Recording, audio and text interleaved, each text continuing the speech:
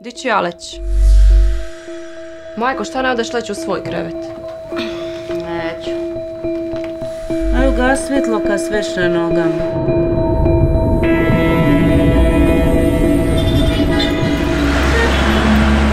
Zakasnit ćeš.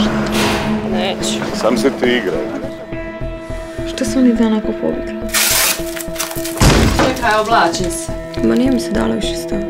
Ma oblačim se. A ja ne znam kako ti to izdržiš s njima. Nešto proti ruke. Nisam ništa dirala. Draga, nisi ništa dirala, cijeli dan diraš tuđa govna.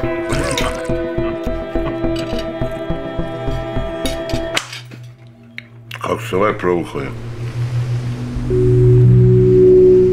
Znamo šta se Čači dogodilo. Ne htjeli smo te pitati šta triba, ili triba uskočiti.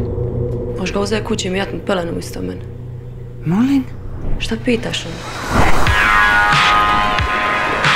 Rekla mi je mater da je došla jutro u šest uri kući. Kakvi je to način, Marijana? Marijana živi malo.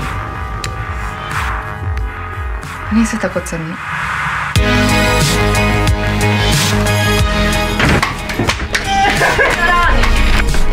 Vidiš što je počelo šepo. Jedna bolje bi bilo da te nisam ni rodila.